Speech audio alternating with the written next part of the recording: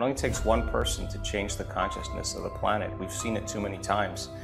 And it, nobody chose those people. Nobody chose any of those people. They chose themselves. And God, I'm sure Martin Luther King felt a lot of fear every day, but it didn't stop him from showing up and being great.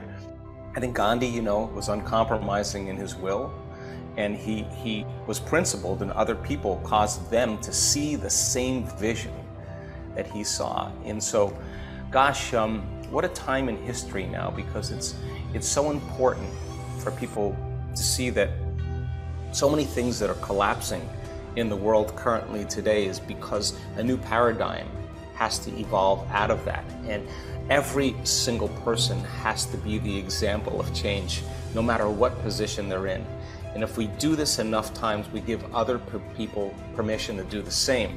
I believe that in time a prison could become a monastery if enough people begin to make those changes. And it's not like abstain from life or abstain from living but something else is transformative is happening where wow you come you you you you, you make your change in, in a great place and you get closer to love you get closer uh, to gratitude you get closer to freedom you get closer closer to joy you get closer to bliss and now it doesn't matter what environment you're in you're, you're happy with yourself and i think that's when you really get out of jail when you really get out of prison when you're feeling unhappy, when you're feeling angry, uh, I think you want other people to feel the way you feel. And, and I don't think that's a conscious process. And so people who hate themselves hate others. People who are angry with themselves are angry with others. People, uh, you know, who, who uh, you know, suffer, you know, for some reason, love to love be around other people that suffer. Suffer. Get enough people in a state of joy and get enough people in a state of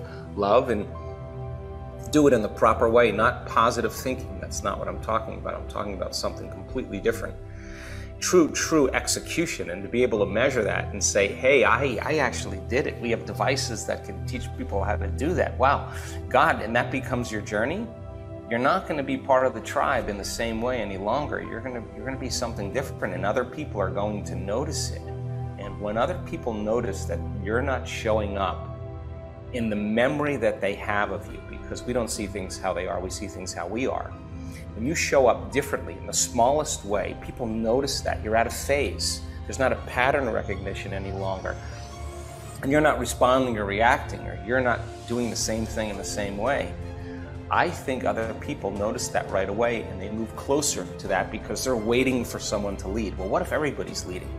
I think it's a, a powerful message. And, and you know, when we do this in prison systems in Latin America, my whole thing is not only bring the family in, but let's let's do something where we can begin to affect the world. You know, that's when it becomes really, really important. Well, if you think about this, and I've thought about it a lot, when you receive something favorable, or you've just received something favorable, if something wonderful just happened to you and surprised you, or something amazing is happening to you in the moment, you feel this feeling of gratitude. So, the emotional signature of gratitude is something just happened to you that's wonderful, or something that's happening to you in the present moment is truly amazing.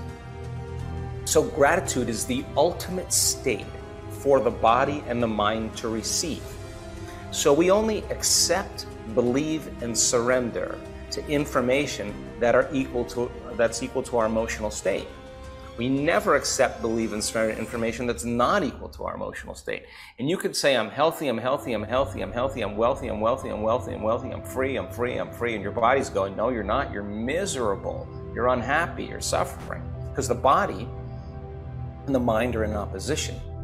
Turns out 95% of who we are by the time we're 35 is a set of programmed um, habits where the body becomes the mind. So if we can move out of that state into a state of gratitude, then the body's believing, it doesn't know the difference, remember, between the real life experience that's creating the emotional gratitude and the body in the state of gratitude by thought alone. So the body's believing it's living in a new environment.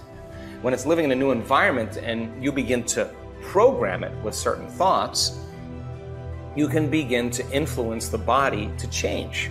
So the body begins to receive information in a state of gratitude. And, and that energy, when we feel gratitude, begins to do something so beautiful. We've seen this so many times.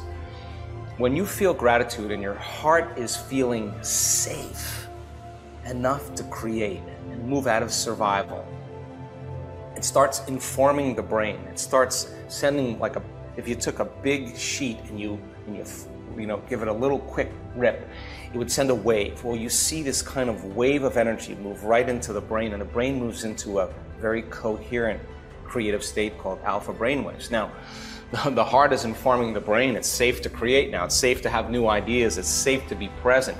And the heart starts producing more energy that begins to flood the brain to be more creative. So then the thoughts that the person thinks in a state of gratitude are more unlimited. They start believing in themselves, and you can't believe in yourself without believing in possibility, and you can't believe in possibilities without believing in yourself. So, gratitude is the state in which we begin to open the heart. It's a state in which we're able to receive. The body is believing it's in a new environment, and it's the body's way more programmable, and we can program the autonomic nervous system into a whole new expression of chemicals, hormones, gene expression and everything else, and we, immune regulation, we've measured all that. And the body just gets stronger because it's out of stress and out of survival. You know, programming is called programming, whether it's TV or whatever, for a reason. Because when people stare into a screen, we'll just say a TV as an example, um, what they don't know is their brain waves are slowing down and they're suppressing their analytical facilities. And what separates the conscious mind from the subconscious mind is the analytical mind. So when you stare into a TV and you're not thinking and analyzing and you're in trance, you're very suggestible to information and you can begin to program your autonomic nervous system into all different kinds of states that most people don't even know.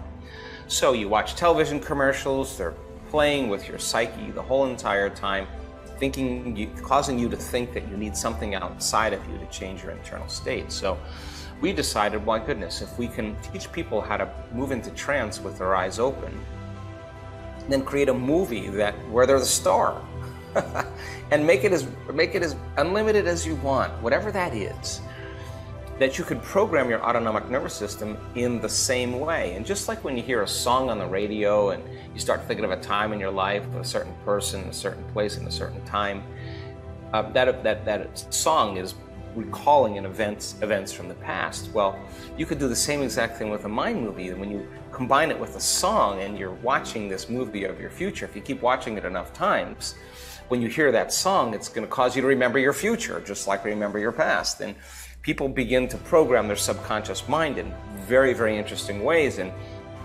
they start having these incredible opportunities show up in their life because it's programmed that way. So we, we ask people to make movies of their future and within the realm of their understanding and acceptance to begin to watch that before they go to bed at night.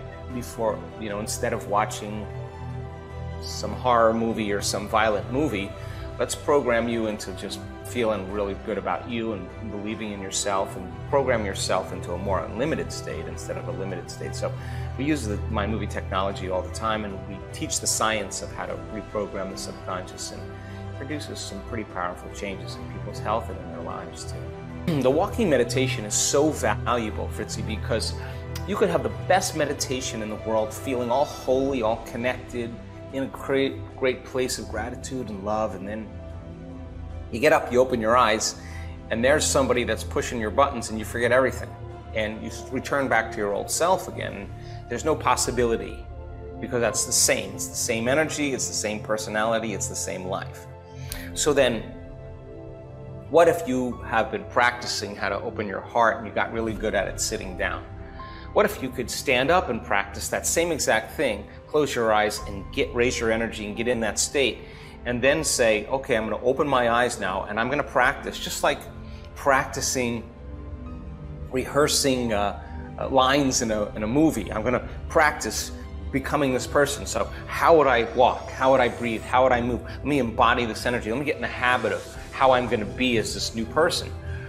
And so, practicing it with your eyes open creates the habit of you becoming somebody else. And I want people to walk as if it's already happened. I want them to walk in the power and the in the in the energy of, of who they are. And do it enough times till they become it.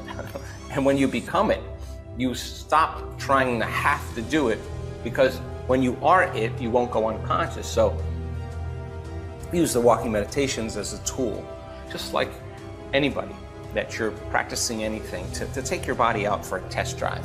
Take the animal out and condition it into a new state and practice it with your eyes open so that in time when you go from your cell outside to the basketball court or to the weight room or you go to the go from the, uh, the mess hall you know where you eat back to your cell you're walking like a noble being you're walking in the energy of power you're walking in the energy of who you are and and you keep doing that that becomes who you are in time so we've seen people in walking meditations i've seen this so many times start the meditation with crutches and by the end of the walk, they just they, their, their, their, crutches are in the garbage can, and their chronic health condition is gone. Not once, not twice, not three times, numerous times. So we had a guy that was in the event uh, just a couple months ago in Cancun, and he was a war veteran, and um, had broken his back many times, had a terrible PTSD. Uh, he was in really bad shape. He took all kinds of drugs. He was suicidal nothing was working. Then they did surgeries on both his knees. And when he came out of the surgeries, his, the pain in his feet was so bad that he asked the doctors in time to cut his legs off, to cut his feet off, because he couldn't tolerate the pain. And they said, We can't guarantee that because you may still have phantom pain. You still, even though you don't feel, you may, the brain may still think there's pain there. And um, so he came to the event and um, gosh, just a really beautiful man and started, just didn't know much, just tell me what to do. I'll just do whatever you tell me, you know, sweet, uh, uh, Green Beret. He was like a special ops guy. So he fell, fell, out of planes, he did everything, and his body was pretty beat up. And uh, he had one moment uh, and when we lay down after a meditation where he felt this energy course through his nervous system. When he opened his eyes, he had no pain in his feet. Now, that was just the start. So when he got to the walking meditation, he started the event in a wheelchair. When he got to the walking meditation, he had two crutches and walked on the beach with 1,500 people with those crutches, just making it. And then the next day, uh, I see him out there with one crutch, and he's just leaning on that crutch and he's practicing going against everything he learned to be the hard guy.